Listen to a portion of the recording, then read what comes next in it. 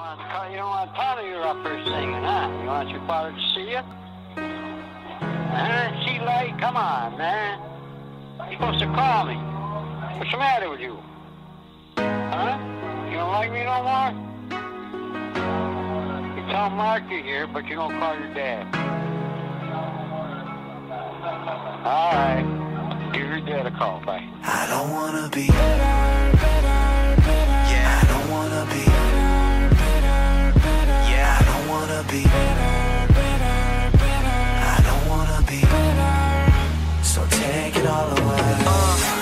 anybody know the feeling of rejection? Yeah. Feels like you was kicked in your midsection. Yeah. When you feel like you simply just lost your best friend. Everybody play the game of love, you ride the bench and you start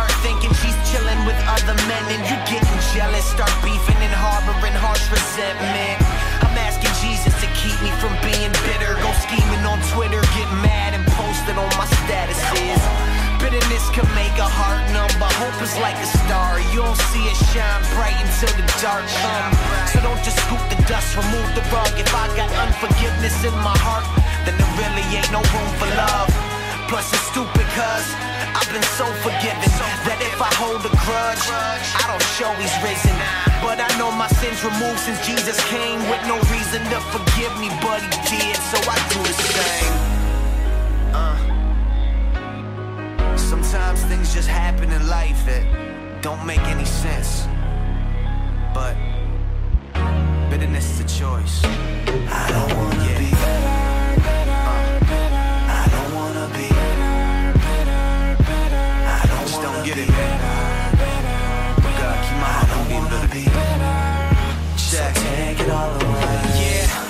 gotta tread softly. Don't wanna be a hypocrite. Plus, I got some bitterness I wanna get up off me. Where should I start? Well, I feel like I'd be sorta frontin' to say when my father calls that I don't hit ignore buttons. It's probably cause we never kicked it at a younger age. I know when he's calling, but I don't got his number saved. I keep dodging him, but I'm just being honest. All he wanna do is talk football and how I should play in college. I get bitter, kinda cold